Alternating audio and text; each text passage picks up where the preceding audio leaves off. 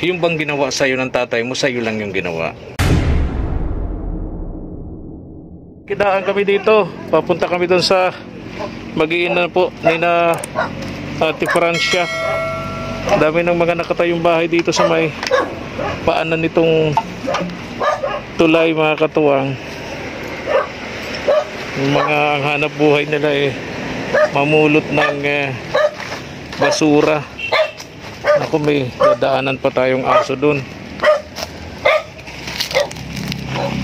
Oo. Sana di tayo abutin ng aso. Dito tayo daan.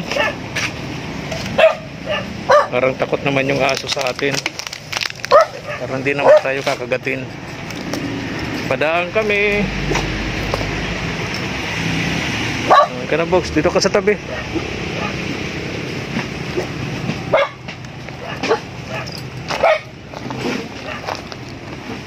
Dandahan, dandahan. Oh, ayan, kasama natin mga katuwang si Bogs. Ayan, dito tayo. Okay. Ate Francia. Tagal-tagal na rin tayo hindi nakakapunta rito. So mag-iina.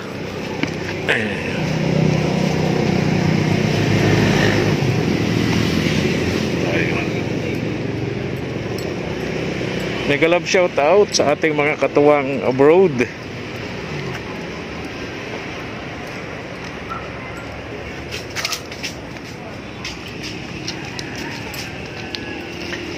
Kumustahin natin itong mag-inang ito. Yung isang anak na ito si Danica wala na sa kanya. Kinuha na ng kanyang tatay sa Quezon. Dati grabe yung tubig dito. Bahamba dito dati inaabot yung bahay nila. Pero nung paggawa natin ng bahay dyan, inelevate natin. Mataas yung haligi. Tulad niya no kaya hindi na sila inaabot ng baha dito mga katuwang. Kasi ilalim ng tulay. May mga bahay nga dun oh. May mga bagong bahay dun oh sa ilalim ng tulay. Ayan.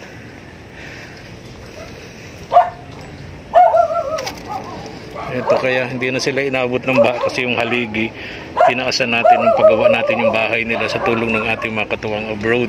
Kaya hindi na sila inaabot yan ng baha mga katuwang. Kaya yung tindahan nila wala na. Tuluyan na pong nagsara. Nabangkrap ng ilang beses yung tindahan dito na Francia. Gandang tanghali. Oh, kumusta ka? Ay, Oh. Kumusta kayo? Nasaan yung bata? Si Franz. ah, Si Franz. ah, sa labas po. Nasa labas, naglalaro. Ah, Oh, yaman mo na ngayon, no? ah, May gintong kwintas ka na. napulit yan kaya. Ah, pwede ba akong tumuloy? Pwede ba kami tumuloy? ako kaya. Kumusta kayo? Kumusta kayo nung bagyo? Ano yan? Ah, may ano, may spring yung pinto mo. O, hayaan mo na, hayaan mo na. Ko yan. Okay lang. Kumusta yung pag-aaral ng bata, si Franz? Ayos na po kaya. Ha? Ayos na po. Kailan parang, parang madilim ano? Dahil nga sa pintuan. Di na talaga ano ano. May nakatira dito. Kwarto, kwarto na itong tindahan. Kwarto na to. Apa. Kwarto na yan. Sino nakatira dyan? Ha? Sino nakatira? Ano? Pina, pina-boarding house mo? Ha? Pinaarkila mo? Ah, ano po, yung kapatid ko nag Ah, kapatid mo. Galing ko sa ano, Sa Alayaw. Kapalongga. Ah, okay. Kumusta naman yung pag-aaral ng bata?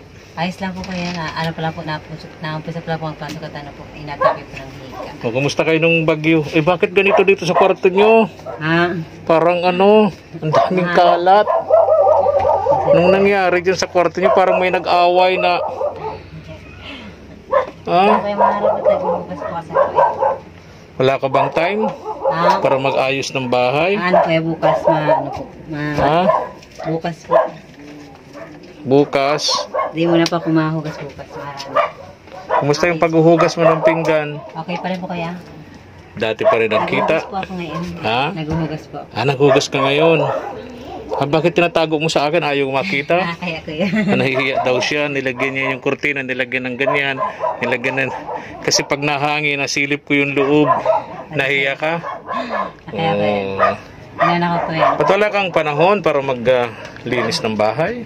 Inauna ko po yan pagkakapira. Kakapiraan para may pagkain kayo. Araw-araw po ako may trabaho sa pag-uwi. Araw-araw. Anong oras ka nagsisimula? Ah, Anong mga ano oras? po, mga 7, 7.30. 7.30 ng umaga, natapos ka ng Mga 5. 5 o'clock. Magkano kita mo doon? Nakakano ko yan, nakaka 200 to 50. O, 200 to 50. Pambid na rin ng bigas. Pag ulam-ulam, breakfast kinaumagahan, ano? Baon ng bata, di ba? Ingay naman ang aso nyo, parang, May ano po yung mga nadaraan. ha? May, pag may mga nadaraan po na hindi Ah, kaya naingay siya. Ah, Okay, Bogs, saan yung bigas ni... Ito, ito, ito yan yan. Dito yan. Ito, pasensya ka na dito, ha? Oh, bigas at ah, mga dilata yan, ha? ito kaya, Pasensya ka na dyan. Marap, malaking talong na po yun kaya. Ha? Malaking talong na rin po. Ah, ganyan, limang kilong bigas. Ilang araw nyo yan? Ah, Dalawa lang naman kayo, eh. sabi po mag-ina, dalawang ano po. Ha? Sabi po mag-ina, dalawang linggo po yun. Dalawang linggo? Oo. po mag-ina. Hinaan yung kumain, ano? Ah, Isang ilang ganta sa bawat saing.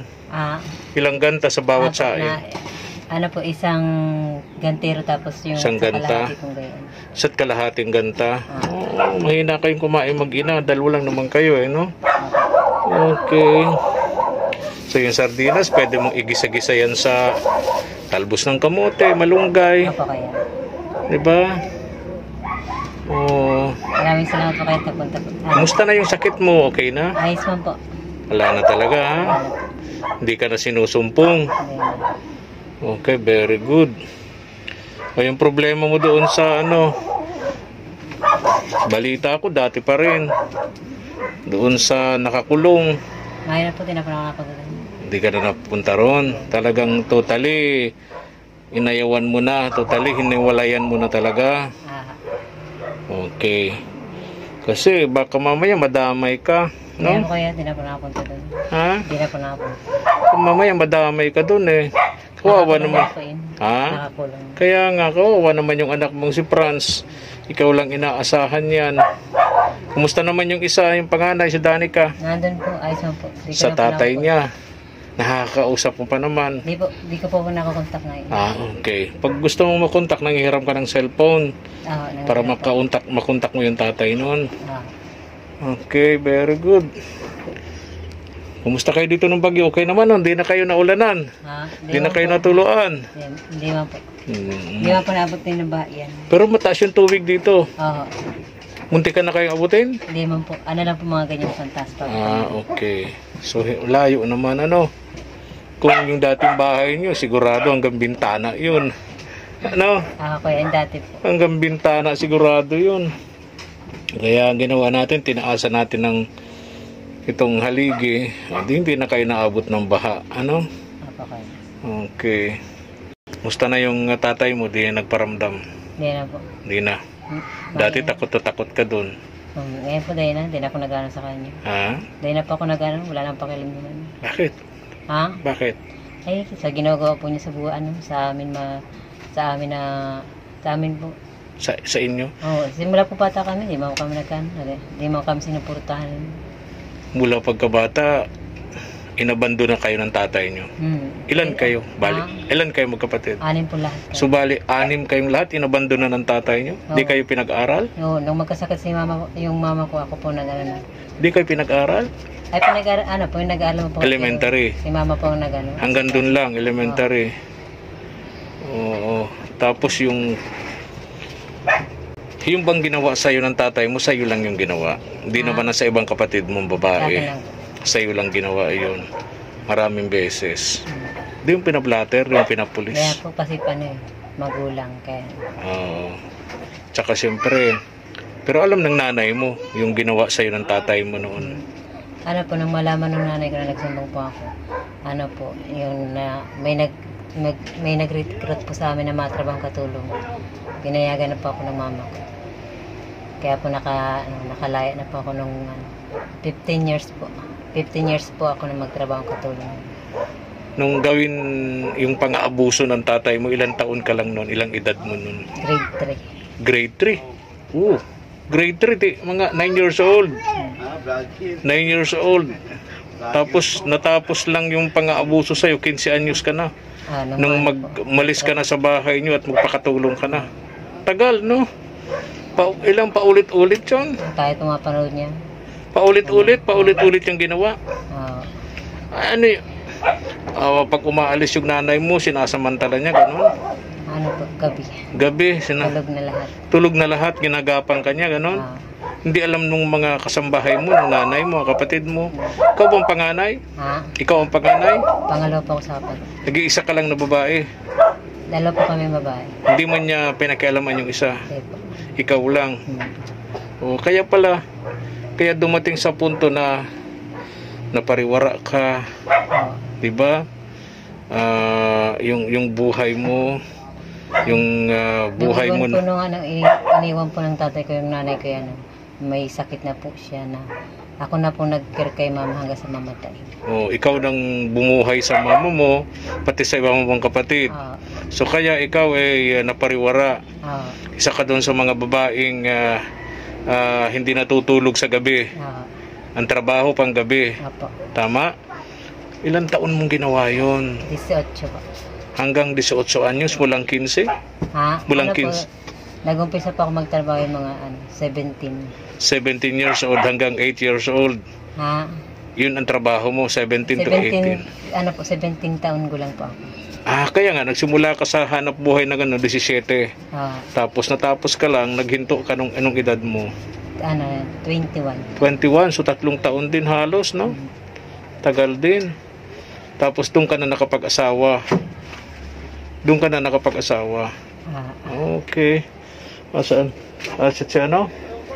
Sa bata pala, kala ko sino. So, ganun yung istorya mo, ano? ah, Nakakalungkot lang kasi hanggang ngayon, ah, punong-puno ka pa rin ng mga pagsubok sa buhay mula sa pagkabata, ano? Hanggang ngayon, puro pagsubok pa rin. Kaya alagaan mo tong anak mong si, si Franz. Ah, Kasi batang ito napaka napaka anong tawag diyan, porsigidong mag-aral. Tapos eh ah, pansin ko sa kanya pagiging smart ng bata. Malay mo pag ah, laki niyan, panahon na matanda ka na, meron kang masasandalan, aakay sa iyo yung si Franz, no? Kaya wag mong pababayaan yung anak mo. Kaya yung pakikipagrelasyon mo, piliin mo. 'Di ba? Umunti ka na doon. Nung i-raid ang bahay mo, buti wala ka. Kung nagkataon ng i-raid ito at nandito ka, pati ikaw madadamay. 'Di ba? Tama ba ako? Tama po yan. Kaya sana totoo na yung sinasabi mo. Ah, distansya ka na sa kanya para sa anak mo. Ah, Ano? Tama? apo kaya. Oo. Maraming salamat po kaya sa pangarap. Mm, tama 'yun ano? Magaling ka na pati. Apo. So yung gamutan natin, Okay na med po. okay na. Graduate na. Okay. O, sige ha. Ha? Maganda na pati ang katawan mo ngayon. Hindi ka na yung putlain, no? Ngayon, okay, okay na. Apo kaya. O, sana lumaki-laki pa ang kita mo sa maghapon. Ah, Yung batang si Franz, tinutulungan ka kapag ka walang pasok.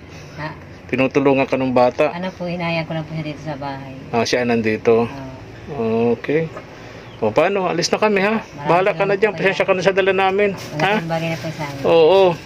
Na daanan dumaan kami diyan sa harap mo.